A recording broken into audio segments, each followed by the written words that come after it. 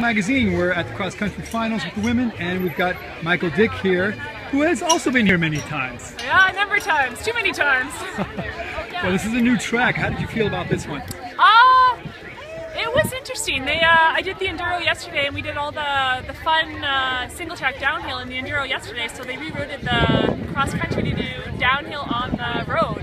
So it was a little disappointing, but very challenging nonetheless. Still, mm -hmm. Yeah. On this one here, what was the most challenging part? When did it break apart?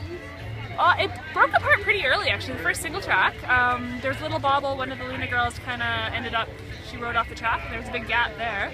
And then, uh, yeah, it was just, you know, this lead group was split up, and then we, there was a chase pack, and we kind of worked together. We worked really well together. There was a bunch of us, and it was, yeah, it was fun, but it was really hard. Was your uh, group, did you have other Canadians in as well? I had Sonya Looney, who's our uh, Canadian uh, wannabe. Yeah, Canadian wannabe. Soon. Soon. Getting yeah. married to a Canadian? Getting married to a Canadian and hopefully starting to ride like one. the Canadians are the best riders. You'll, you'll, have the mountains and the coldness and all those things that they suffer for and over the there. And the cliffs to ride off of. Yeah, yeah. And uh, Haley Smith was with us for a bit from Norco. He was. So, yeah. Absolutely. For you, I know you've done this many times. Do you prefer this track over the classical one we've had in the past? I don't know. You know, it's, it's I always have demons with this one. I always it hurts no matter what. It's so early in the season, and I'm always feel like I'm out of shape. So I don't know. It, it's challenging either way. I don't know if I have a preference, honestly. Early in the season, it's a two and a half hour ride. It's quite a quite a long one. Very very long, yeah. When you're two and a half hour ride going easy is one thing. Two and a half hour ride going hard is another thing.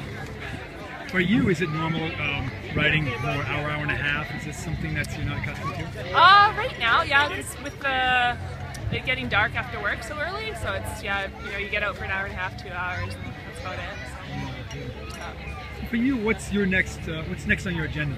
Uh, getting ready for Fernie 3 and single track 6, and gonna do a bunch of enduros this year, so got myself into the Whistler Enduro, so now I gotta learn how to ride that stuff. yeah, just have fun with it. Sounds great. Are you going back today? Tomorrow. I'm doing the cyclocross race today. Oh, nice. Great. See you next year too. Yeah, you betcha. Thank you. Thank you.